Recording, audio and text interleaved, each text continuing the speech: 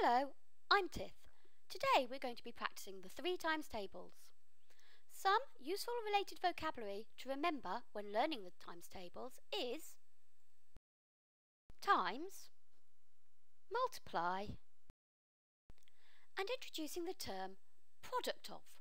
So for example, the product of 5 and 3 simply means 5 times 3.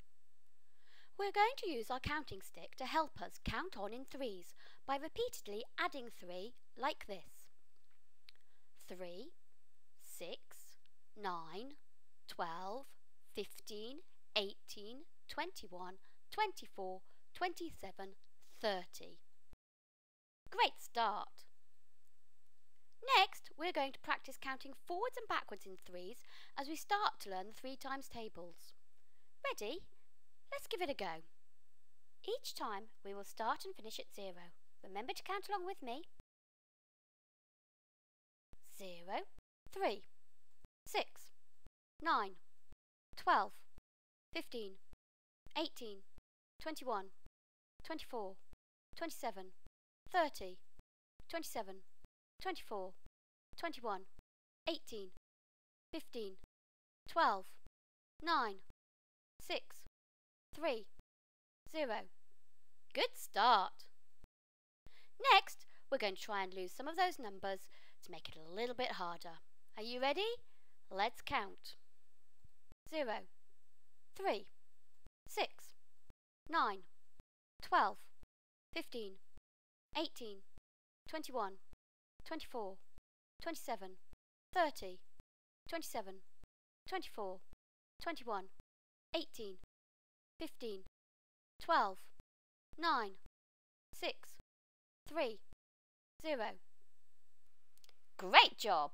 I think we can remove some more of those numbers. Okay, let's count.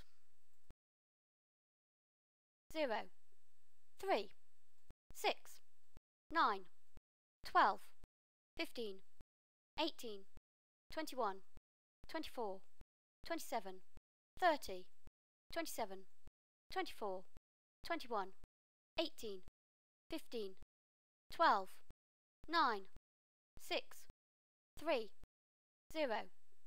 Doing well. Let's see which other numbers we can remove. Right, here we go again.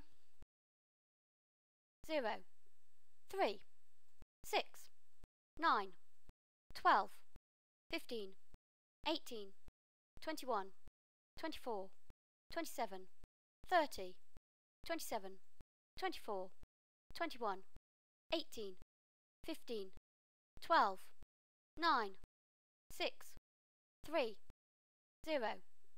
Nearly there. Final time now. So let's remove the remaining numbers. Ready? Off we go. Zero, three, six, nine, twelve, fifteen, eighteen, twenty-one, twenty-four, twenty-seven, thirty, twenty-seven, twenty-four, twenty-one, eighteen, fifteen, twelve, nine, six, three, zero. That was really good.